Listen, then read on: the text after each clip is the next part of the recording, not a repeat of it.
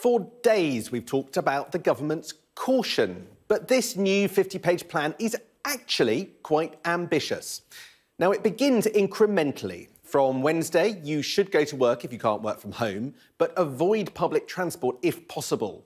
If you're in food production, construction, distribution, manufacturing, and scientific research, but not hospitality and non essential shops, which stay shut. People in England now, like those in Scotland, are being advised to wear face coverings in enclosed spaces where social distancing is hard, like public transport. They can be homemade, just don't buy surgical masks because they're needed by healthcare workers. You can now spend as much time as you like in parks and on beaches, and in England, drive an unlimited distance to get there. You can meet one person from another household while you're out, but that's your lot. So, mum or dad, but not both together. Childminders are encouraged to work again. Meanwhile, vulnerable children and those of key workers are now being urged to attend school, although this is not legally binding. Step two starts in June at the earliest. This may be when you can meet people freely from other households, but the document has nothing concrete on that yet.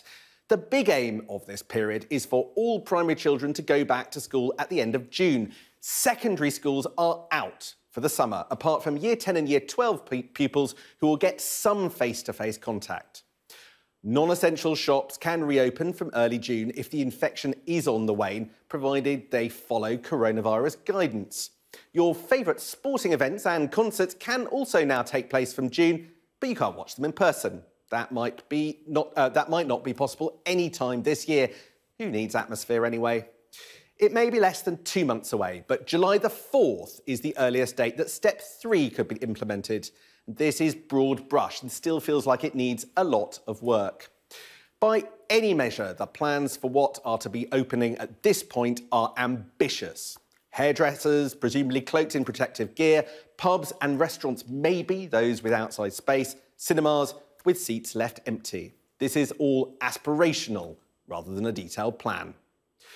Boris Johnson made clear everything in this blueprint depends on the infection rate dropping further. But reopening the country also depends on getting the detail and the politics right. It could also be scuppered by unions or employers or even devolve governments rejecting Whitehall's advice. The disease isn't the only hurdle for the Prime Minister.